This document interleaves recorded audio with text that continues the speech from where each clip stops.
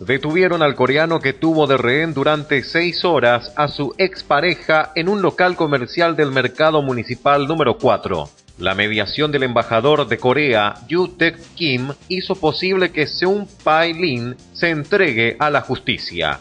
Por su parte, la víctima fue derivada a un centro asistencial.